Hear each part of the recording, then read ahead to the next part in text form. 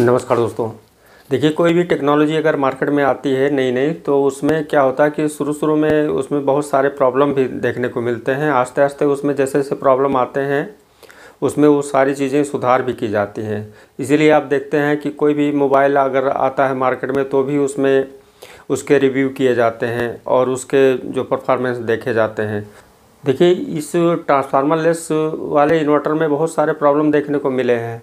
और वो प्रॉब्लम ज़्यादातर उसमें जो कैपेसिटर की ब्लास्टिंग होती है यानी ये जो एक बैंक होता है कैपेसिटर का वो अक्सर जो है ब्लास्ट हो जाता है। लेकिन उसी के कंपेरिजन में अगर यहाँ पर देखेंगे जो ट्रांसफार्मर होता है इसमें ये सारी संभावनाएँ नहीं होती हैं। ये क्यों नहीं होती है? क्योंकि इसमें जो इसका वायर हो, होता है कापर का चाहे एलुमिनियम का कोई भी ट्रांसफार्मर हो उसमें ये खासियत होता है कि वो तुरंत अगर जलना भी होगा तो तुरंत जितना ये फास्ट ब्लास्ट होगा, उतना ये नहीं होगा। क्योंकि जिस कंडीशन में इसके जलने की सिचुएशन आएगी, उस कंडीशन में या तो एम सी ट्रिप हो जाएगी, या तो इसमें प्रोटेक्शन का लगा हुआ कंट्रोल उस समय सेंस करके इसको बचा लेगा। और दूसरी जो खास बात आती है, वो सॉफ्टवेयर प्रोग्रामिंग को लेकर आता है। ये अदर कंट्री के हिसाब से डिज़ाइन किया गया होता है। और यहाँ पर ये देखेंगे, ये है स्वास्तिका कंपनी के द्वारा डिज़ाइन किया गया सॉफ्टवेयर होता है। और सॉफ्टवेयर का मतलब ये होता है कि मेन जो उसमें सिस्टम होता है, उसकी जो वर्किंग प्रोसेस होता है, इन्वर्टर का, वो सारे डिपेंड करता है सॉफ्टवेयर उसमें कैसे हैं। क्योंकि अब जो यहाँ का सिचुएसन है, इंडिया का या एरिया में जो भी प्रॉब्लम देखने को मिलते हैं या जिस हिसाब से जिस नेचर से उसको बनाया गया है इन्वर्टर को, जिस सिचुएशन के हिसाब से, उसमें सॉफ्टवेयर के अनुसार ही उसका जो, सारा जो प्रोग्रामिंग होता है, उसके अनुसार वो बिहेव करता है, या उसकी वर्किंग होती है इन्वर्टर की। जैसे आप एटीसी सिस्टम को देखें, इस समय जो ठंडी का कंडीशन है कि बैटरी हमारा जो है डाउन कंडीशन में चला जाता है, या बैटरी डीप में हो जाती है ठंडी के कारण।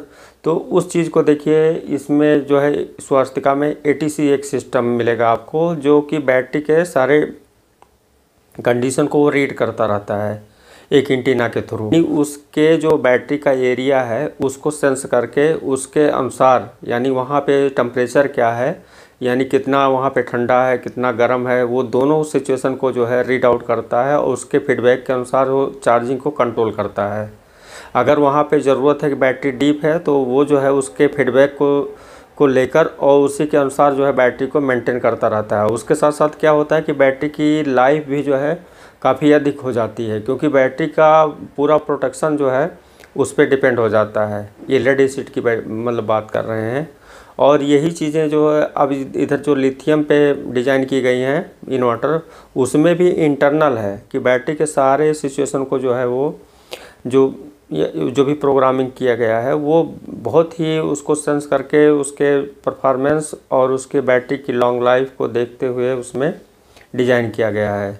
इसीलिए इसका जो है इन्वर्टर का परफॉर्मेंस वो बहुत ही बेटर होता है। तो यही कुछ चीज़ें थी जो बताना ज़रूरी था, क्योंकि बहुत सारे कॉल आए थे जिससे, जिसमें हमको ये पूछा गया था कि ये जो हमारा इस समय ट्रांसफार्मर लेस इन्वर्टर है, उसका कैसा रिस्पांस है। तो मैं सोचा कि एक वीडियो बना देना ज़रूरी है, क्योंकि अभी फ़िलहाल जो नया टेक्नोलॉजी है, उसमें जो प्रॉब्लम देखने को मिलते हैं तो मेरे हिसाब से जो मैं देखा, समझा, वही चीज़ें आपको बता रहा हूँ। आगे बहुत सारे मॉडिफाई होंगे, इसमें भी बहुत सारे परिवर्तन होंगे, क्योंकि जैसे जैसे प्रॉब्लम आते हैं, उसको सुधार भी कर लिया जाता है। तो उस हिसाब से आगे वाली जनरेशन जो होती है, उसमें बेटर से बेटर रिस्पॉन्स देने का कोशिश किया जाता है। ऐसे हर कंपनी करती है और पावर को लेकर जो सिचुएशन है, उस पर हर कंपनी बेटर से बेटर रिस्पॉन्स देने के लिए काफ़ी प्रयास कर रहे हैं। आगे देखिए, बहुत सारे टेक्नोलॉजी देखने को मिलेंगे। तो आज की वीडियो में बस नहीं मिलते हैं नेक्स्ट वीडियो में। थैंक यू दोस्तों।